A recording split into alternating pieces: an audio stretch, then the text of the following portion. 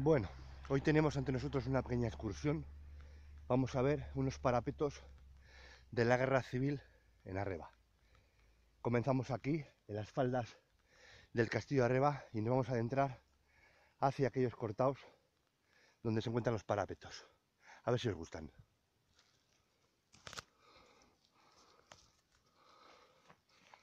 Aquellos son los cortantes donde vamos a ir. Y aquí arriba, justamente en las faldas, tenemos el castillo de Arreba del siglo IX, último bastión de la frontera de Navarra. Y su acceso. Pero nuestro camino está en aquella dirección.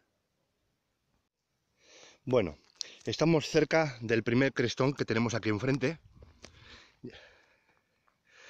Ahí abajo tenemos el barrio del Castillo de Arreba y ahí en esa peña está el castillo de Arreba. Entonces hemos continuado por un sendero por aquí y en esta zona tenemos el primer parapeto o fortín, por el tipo de amplitud que tiene, que vamos a visitar en primer lugar.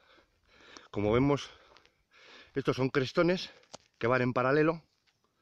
Aquel de arriba es el mayor, es el que separa las jurisdicciones del Valle Manzanedo con el Valle de, de Bricia. Bueno, vamos a ir a ver a esa posición.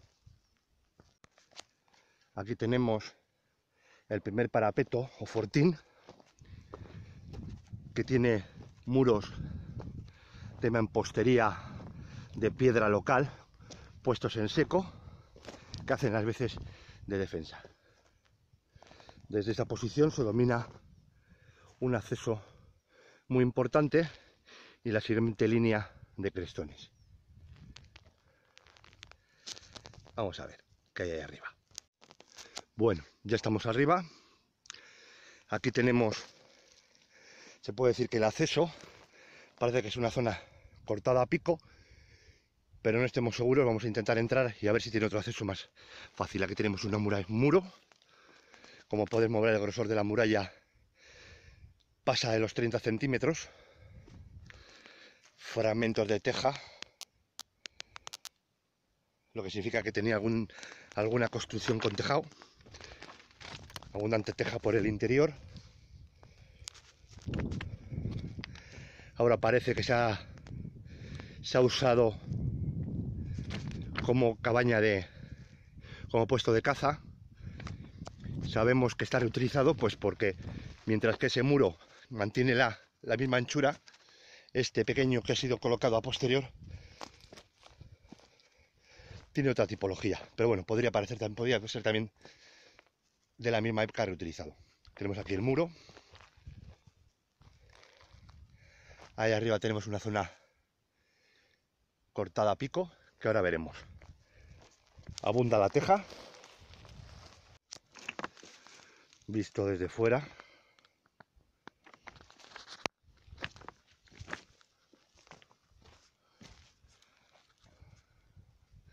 Aquí hay un canchal, un derrumbe de alguna otra construcción o parte de la defensa. Y desde aquí vemos qué es lo que dominaban.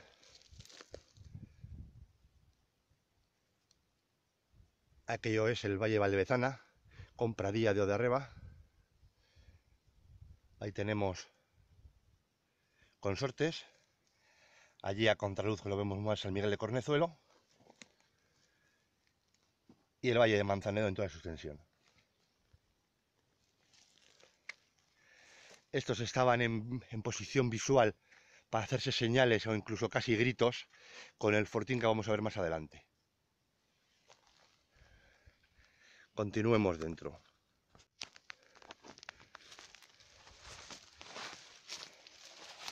Tiene la altura perfecta para colocar un fusil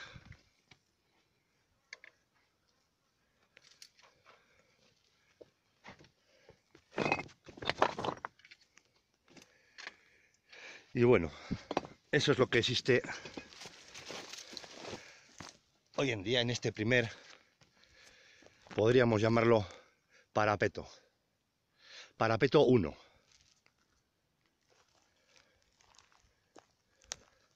A ver qué hay por aquí.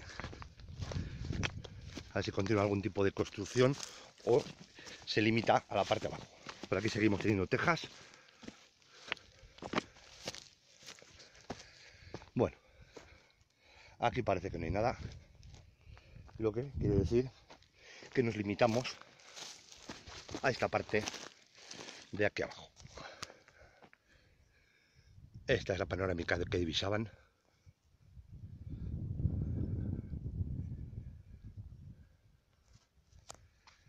Todo esto sería territorio nacional.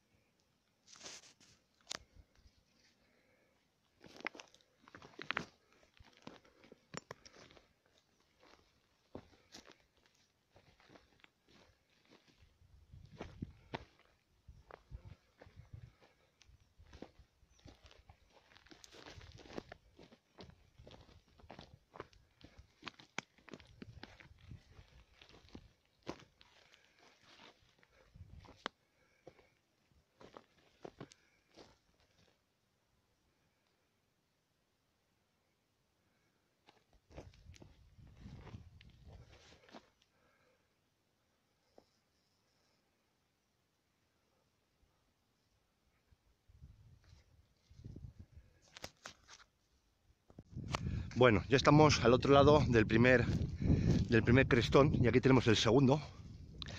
Eh, hemos visto un, primero un parapeto, podríamos decir que está abajo, aunque es de, de, montaña, no se encuentra en la misma carretera, sino habla de ella defendiendo una posición un poco elevada. Pero en este camino vamos a encontrar dos parapetos que están en la misma carretera. Aquí tenemos uno cerquita, vamos a llegar hasta él está muy camuflado por la vegetación. Aquí le tenemos. Ahí tenemos el muro defensivo.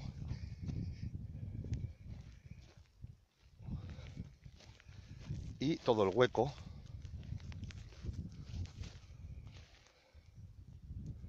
que estaría emplazado en el propio camino de acceso. Allí vemos también que hay algún tipo de piedras, de un derrumbe que no sabemos exactamente lo que es podría ser un cierre del camino. Pero bueno, el parapeto número 2 es este. Vemos el hueco perfectamente para los tiradores. Incluso quién sabe si dada la altura del mismo podría haber alguna ametralladora. Que defiende este paso del valle. Al otro lado, en el otro lado tenemos un parapeto que defiende un acceso y este que defiende otro y un camino que va hacia el desfiladero de las palancas que va en dirección a Munilla, que era posición republicana. Vamos a ver el otro de carretera y luego ya nos tocará subir a esa peña de arriba, donde está el otro parapeto, más bien fortín, que es el que contiene una inscripción. Parapeto número 2.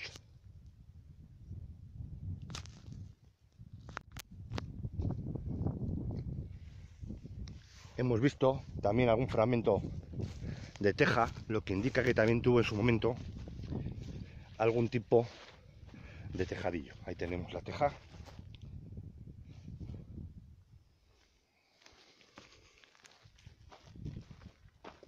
Y la anchura del parámetro del parapeto.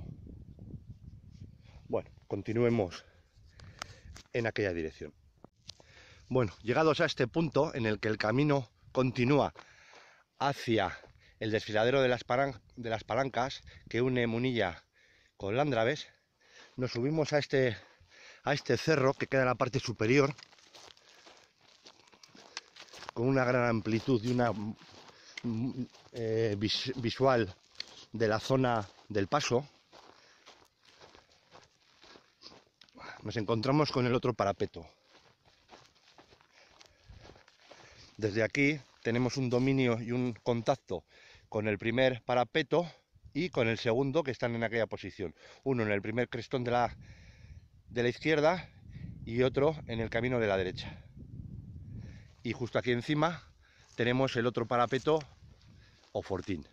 Pero aquí está el que hemos venido a ver ahora mismo, que sería otro parapeto en una posición helada sobre el camino. Ahí le tenemos. Que también en épocas modernas ha podido ser utilizado de puesto de caza. De hecho, vuelve a tener dos tipos de construcciones distintas. Una más antigua, que es la que vemos en segundo término, y una más moderna en primero. Ahí tenemos, vuelve a ser un agujero de forma casi rectangular, al cual se le ha añadido dos muros. En este caso tendría casi cuatro muros con una pequeña abertura por este lado, pero que ha quedado destruido. También tiene restos de teja, lo que significa también que tenía un tejadillo. Ahí tenemos la anchura del muro, coincide con la de arriba aproximadamente medio metro. Bueno, pasado de medio metro, diríamos.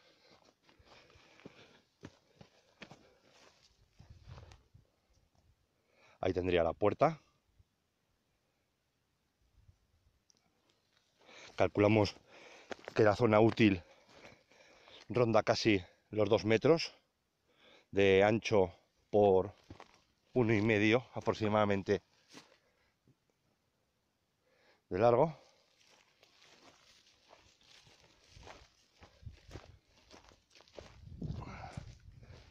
Ahí tenemos la posición delantera.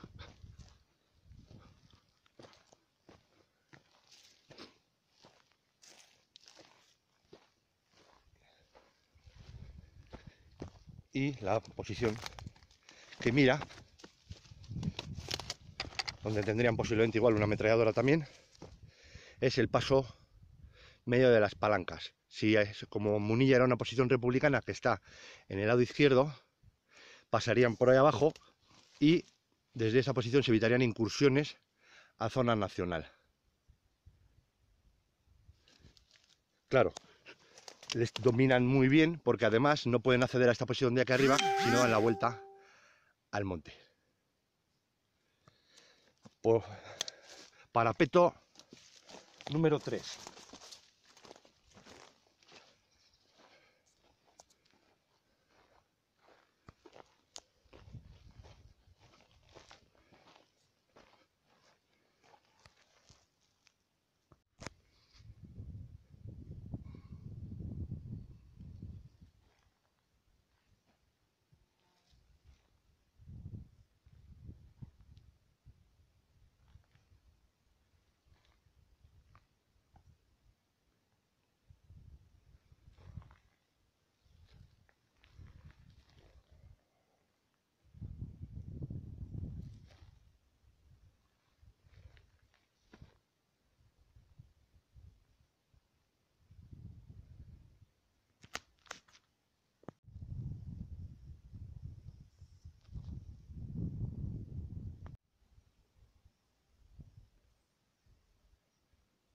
Fortín número 4 o de las águilas.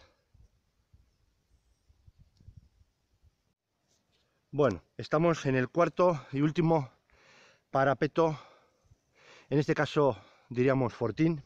Vamos a hacer un, un recuento de los que hemos visto hasta ahora, desde esta posición elevada. Tenemos ahí abajo, en el primer crestón, aquel por el que hemos venido, ahí tenemos el parapeto 1 teníamos otro justo en este, en este, en el paso del camino, aquí abajo, en una zona verde, ahí teníamos el parapeto 2. El parapeto 3 lo tenemos en, aquella, en aquel cerrete encima. Y el parapeto 4 acabamos de decir que es este. Bueno, eh, nos han comentado de que nosotros antes le pusimos a, esta, a este sitio cota 900 porque no tenía nombre en el crestón. También nos han dicho de que a este, a este fortín, o aquel que está enfrente, no sabemos cuál de los dos, le llamaban el parapeto del águila, o de las águilas. Nosotros creemos que ese nombre corresponde con este, porque la inscripción dice águilas azules. Entonces podríamos decir que podríamos cambiarle el nombre por fortín águilas azules. Bueno, después de acceder como una cabra por todo esto de aquí abajo, donde no hay un simple sendero visible de cómo se accedía, llegamos a un último tramo en el que ya es visible parte del, parte del sendero y desemboca aquí en esta plataforma. Y ahora vamos a acceder al propio recinto por unas escaleras talladas y labradas en, en la propia roca. Bueno, aquí vemos parte del sendero. Vamos a bajar. Es un sitio muy bonito, se ve de unas vistas impresionantes. Y ahora justamente un año que lo redescubrimos por una pista de un vecino que decía que había una inscripción en un puesto italiano. Aunque luego hemos descubierto que más que italiano es del ejército nacional, concretamente de alguna sección de los batallones 5 o 6 Bailén, que participaron en la columna eh, Sagardia. Bueno, aquí tenemos ya parte de los escalones, vamos a ir viéndolos, labraos para subir en la propia roca, que es un trabajo monumental, de último acceso.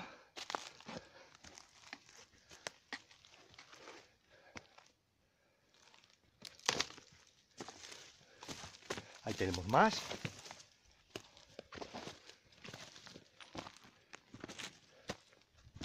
Bien escuadrados. Aquí faltará algún tramo, por eso los últimos escalones son titánicos. Vamos a ver si podemos subir este sin tener que dejar el móvil en el suelo.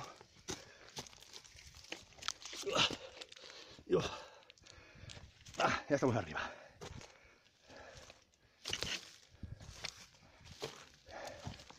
Perdón por mi respiración agitada, pero es que esto es un auténtico baluarte. Bueno, aquí estamos. Lo primero que se ve nada más subir es la inscripción que con suerte y con buen latino conseguimos pegar más de la mitad. Ahí la tenemos. No se ha despegado, a pesar de que utilizamos una, una silicona muy simple. Aquí tenemos los fragmentos caídos y concretamente el fragmento que pone Gui de águilas que estaría emplazado en esa posición delantera que falta. Ahí tenemos Bailén 1937 y la inscripción ya la pondremos al final, lo que queremos que es una interpretación. La posición desde aquí arriba es de auténtico control de paso, de vigilancia y contacto con los cuatro parapetos citados. Aquí tenemos un muro con restos de teja, un muro va bien una construcción, si tiene teja es algún edificio, Ahí tenemos dos muros, lo mismo que antes, medio metro de espesor cada uno. Vamos a ir al recinto grande.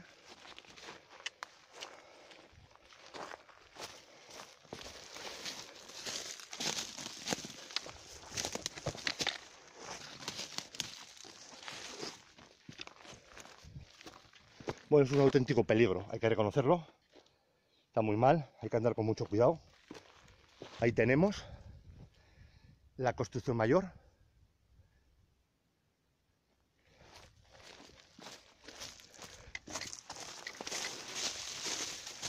Hoy el paso está parcialmente cerrado por encinas.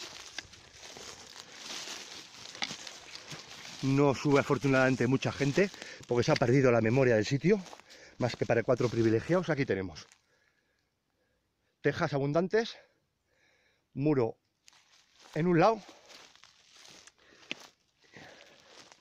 y muro en el otro. Por atrás no lo necesita porque está la roca y abundante teja. Vamos a ver la zona de vigilancia. Todo el muro.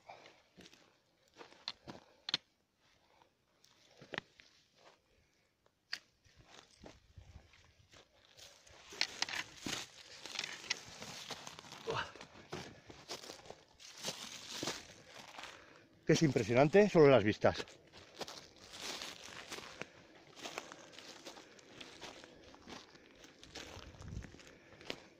Os dejo que disfrutéis de los 360 grados de panorámica. Hay aquel que es, allí tenemos, Munilla, posición republicana en los primeros tiempos. Y todo ahí arriba tenemos Castro de Bricia y Quintanilla de Bricia, que son dos castros que eran posiciones republicanas. Ahí tenemos en primer el Alto del Marul, donde está el Fortín Nacional. Y hagamos un repaso alrededor. Ahí tenemos abajo Landraves, perteneciente a Valdebezana. Perdón, Pradilla de Arriba, Landraves. Allí tendríamos Consortes, San Miguel de Cornezuelo, todo el Valle de Manzanedo. Allá a lo lejos tenemos Vallejo del Valle de Manzanedo. Arriba ahora mismo no lo vemos porque está tras esas peñas. Con un poco de cuidado, si nos acercamos al límite, la vemos allí tras el farallón rocoso. Ese es el, el barrio del Castillo. Arriba sería aquel. Ahí tenemos el paso, Campino.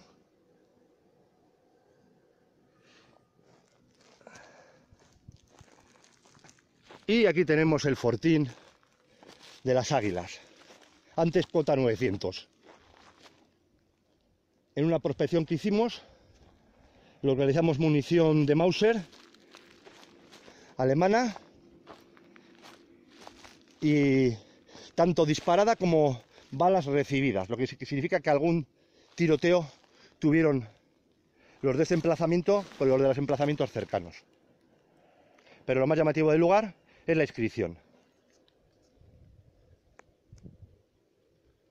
Allá tendríamos el castillo de arriba, que aunque, ahora, aunque se sabe que es una construcción medieval, posiblemente la guerra civil, al igual que el, el parapeto número uno que está, que está, paralelo al mismo crestón, posiblemente fuera también utilizado como lugar de observatorio como, o como motero de vigilancia o como un simple parapeto también en la guerra tras las ruinas.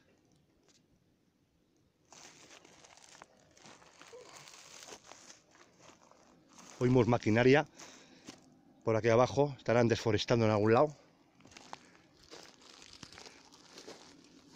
Para allá a lo lejos tendríamos Soncillo, aquella es la Sierra de Cubillos del Rojo. Ahí estaría el paso de las palancas, que pasaría del Andraves a Munilla.